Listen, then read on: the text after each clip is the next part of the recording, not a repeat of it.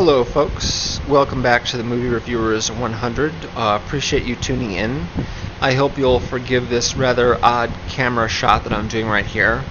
It is extremely hot and humid in Chicago right now, and uh, if one is to sit still without central AC, one has to have a fan running at top speed blowing directly on oneself in order to stay relatively cool. Uh, that's why I'm holding the camera so close to me, is so that my voice can be picked up by the microphone over the din and racket that not only the fan is making, but the guy just outside my, my window who's operating a bandsaw. Um, anyway, um, because the final Harry Potter movie came out this week, uh, and I did see it, and I did enjoy it, it was an exciting film.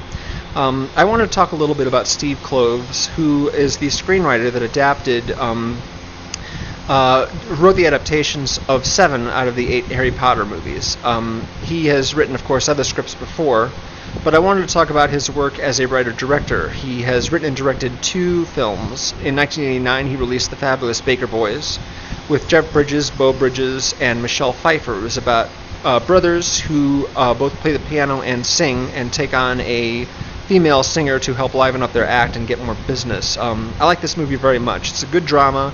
Uh, it's uh, subtle and mature, and uh, I was quite impressed with it when I saw it at age 17 or so.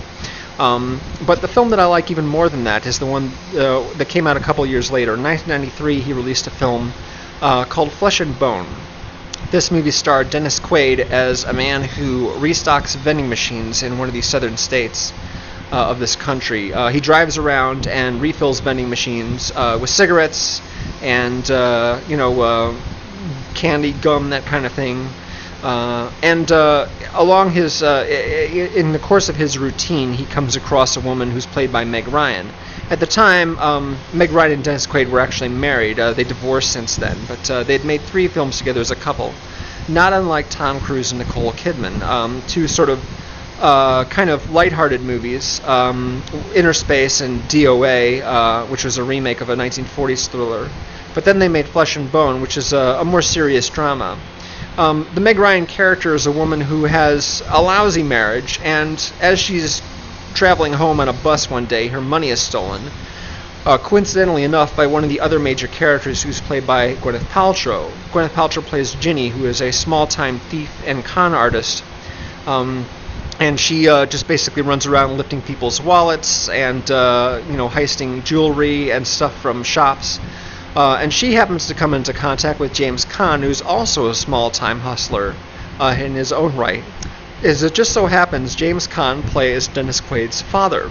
And they do not have a good relationship because a long time ago, when Dennis Quaid's character was a little kid, James Caan would enlist his son in his scams. In the opening scene, we see uh, the two of them pulling a job whereby um, the Dennis Quaid character uh, as a kid, um, pretends to be a lost boy who's taken in by a family uh, and uh, given a bed for the night. And in the middle of the night, he gets up, unlocks the door, and lets his father in, and they proceed to loot the house of its valuables, but then things go wrong. So uh, he is not on the best of terms with his dad.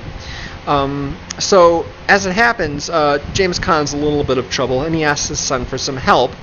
Uh, and so the four of them are sort of in close proximity with each other. And uh, although Dennis Quaid is trying to establish uh, a relationship with this uh, attractive and uh, nice woman he's just met, uh, he's you know has to deal with his father and this rather untrustworthy woman that his father is traveling with. So um, it's a very very good drama. And I enjoy it quite a bit. I think it's, you know, very good acting, especially on the part of the uh, the the ladies in the cast. Um, I think this is probably my favorite Gwyneth Paltrow performance. Um, although she's been great in other stuff as well. Um, I've liked Meg Ryan for a long time, especially in Innerspace. You know, she's just uh, it's just a fun movie. Uh, and Dennis Quaid, of course, I've liked him in some movies and others not so much. Um, and at times, I think that he's a little bit mannered in the way that he speaks. Uh, he, he's at his best when he's playing characters who aren't quite so serious a little more charming, uh, funnier. In this one, he's uh, kind of dour and glum, but it, it, suits the story well. It suits the mood of the movie well. Um, so uh, I'm going to wrap this up here because, like I said, it is very hot and I don't feel like talking for an extended period of time. But uh, I wanted to make a video, of course, And uh, I appreciate you tuning in. Thanks very much for watching. And uh, please uh, tune in on other days this week for more movie reviews from the other guys on this channel. Appreciate it, and have a good one, and stay cool. Chill. Take it easy, guys. Bye.